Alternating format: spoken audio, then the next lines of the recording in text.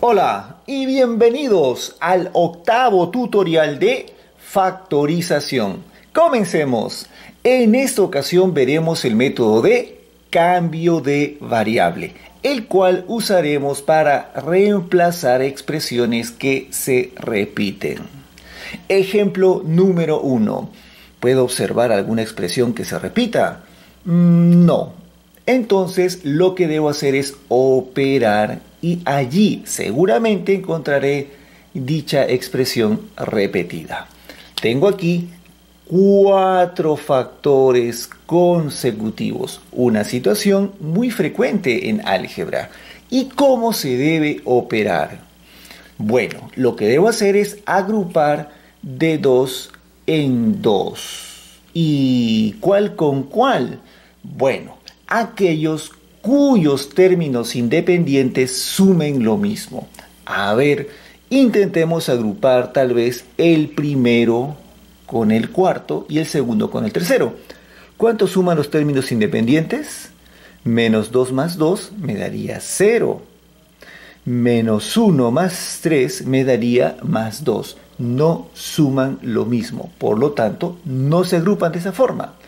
A ver, ¿qué tal el primero con el segundo? ¿Cuánto suman los términos independientes? Si los iguales se suman, me daría menos 3. Tengo aquí más 3 más 2, me daría más 5. No suman lo mismo, entonces no se van a agrupar de esa forma. El primero con el tercero, más 3 menos 2, me daría más 1. El segundo con el cuarto, más 2 menos 1, me daría más 1 también. Por lo tanto, se van a agrupar de esa manera. A ver, voy a formalizarlo mediante unas flechas. Ahí está.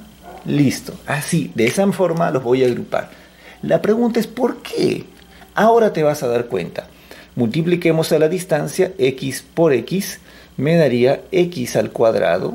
Listo, ya está. Ahora x por 3 me daría 3x. Vamos a colocarlo por acá. Listo menos 2 por x me daría menos 2x. Y menos 2 por 3 me daría menos 6. Listo, ya está. Ahora el segundo con el cuarto. x por x, x al cuadrado, x por 2 más 2x, luego menos 1 por x, menos x y menos 1 por 2 me daría menos 2. Y finalmente bajo el 3. Aquí todavía podemos operar el más 3x con el menos 2x y por aquí el más 2x con el menos x. ¿Bien? También pudimos haberlo hecho de frente, pues ya depende de la habilidad de cada uno. Aquí me daría más x. Listo. Más 3x menos 2x más x. Menos 6. Ya está. Aquí, por ejemplo, x cuadrado más x más 2x menos x me daría más x menos 2. Listo. Más 3. Perfecto. Y allí observen bien si hay expresiones que puedo reemplazar porque se repiten. Allí está.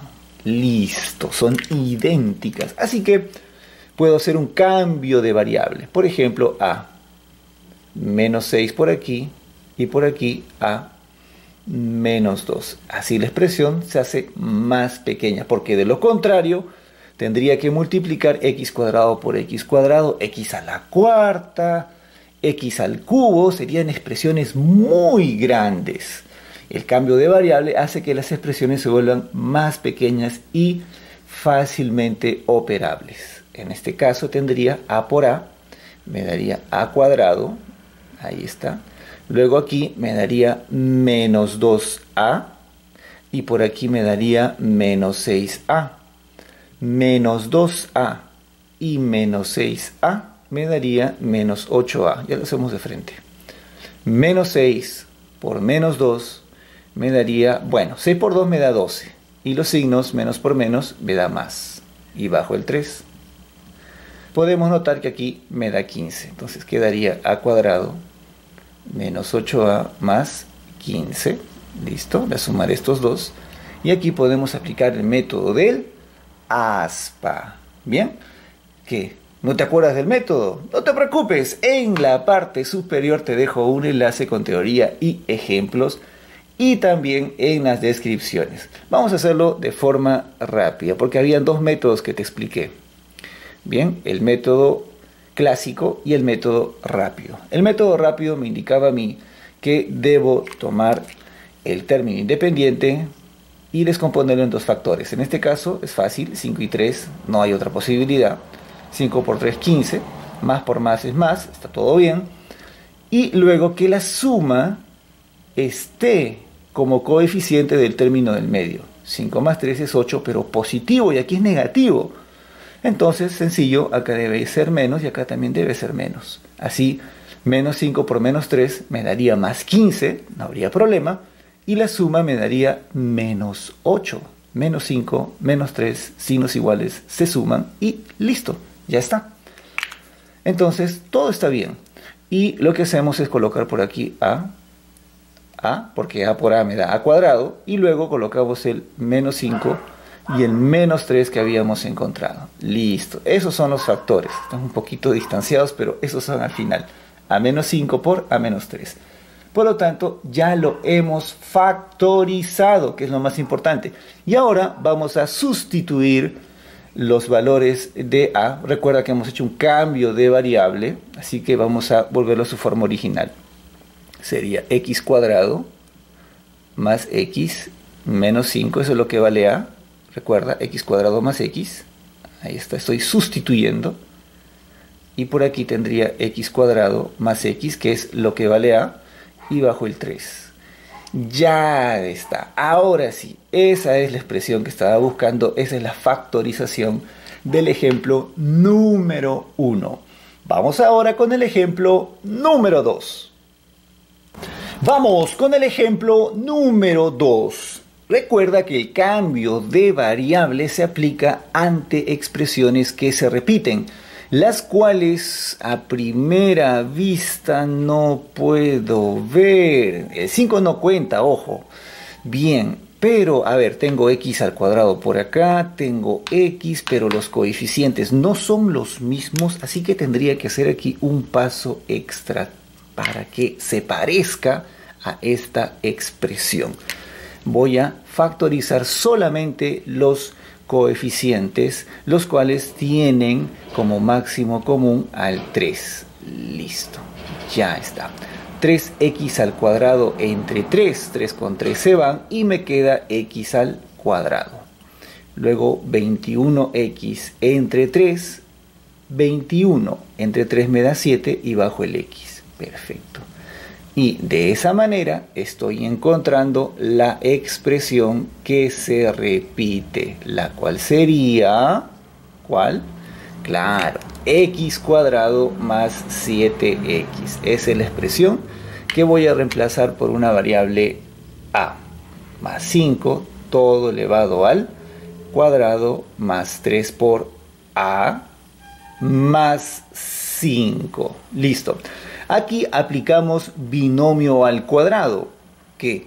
¿No te acuerdas? No te preocupes, en la parte superior te dejo un enlace con teoría y ejemplos y también en las descripciones. Primero al cuadrado, más el doble del primero por el segundo. El primero por el segundo me da 5a, el doble sería 10a. Más el segundo al cuadrado, 5 al cuadrado me daría 25. Bajo el 3a, más 5. Tengo por acá términos semejantes que son el 10a y el 3a, se pueden operar entre sí. Entonces tendría a cuadrado más 13a y luego sumamos el 25 más el 5, lo cual me daría 30. Tengo en este caso una expresión que podría factorizar mediante aspa simple. Así que podemos hacerlo de una forma rápida o aplicar el método clásico. Ya en el ejercicio anterior te dejé un enlace con teoría y ejemplos. Lo que hacemos es tomar el último término, que en este caso es 30, llegó el pan. Bueno, 30 y lo separamos en dos factores que multiplicados obviamente me den 30, podría ser por ejemplo 6 y 5, pero sumados tendrían que darme el coeficiente del medio. 6 por 5, 30 y 6 más 5 me da 11, no me da 13. entonces tendría que escoger otros. A ver, sí, ya sé lo que estás pensando. 10 y 3, ¿cierto? 10 por 3 me da 30 positivo, más más. Bien, y la suma me da más 13, así que está bien. Esos son los factores, los cuales colocaremos de la siguiente forma. Colocaremos A por aquí, colocaremos A por acá, y en uno colocamos 10 y en el otro colocamos 3. Ya está.